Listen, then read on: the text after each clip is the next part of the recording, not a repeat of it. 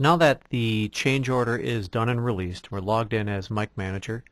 We can see that if we go to the Bogey redesign project, everything is done. Essentially, we've got all of our data here inside of the project. The last thing that we're going to do is take the top level overall assembly and uh, select that from the project, from the, the link to the item, and go to the bill of materials and notice that everything is set to publish to ERP. In other words, this is all ready to go out. So from the right-click context menu, select Export Items.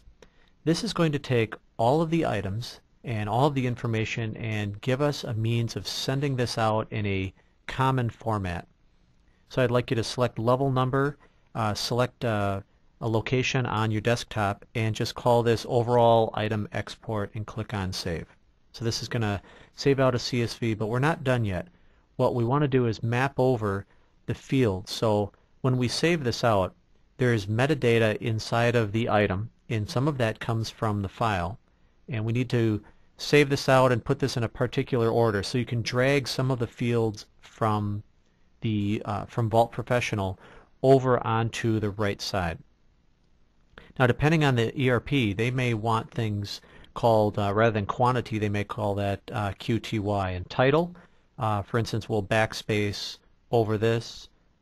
For the property called uh, number, uh, maybe in, uh, the ERP system calls this part number. And it's in this way that you can configure it and tailor it for what that upstream system needs. So we'll finish this off, send it, and then go out onto your desktop and open up that CSV file with Excel and you'll see this is what this is one of the deliverables out of Vault Professional's Item Master is a uh, a flat file format that or a common file format that allows us to save information out and uh, import this electronically or digitally into an upstream ERP or MRP system, reducing the human error of having to make a print and then type all of this into another screen.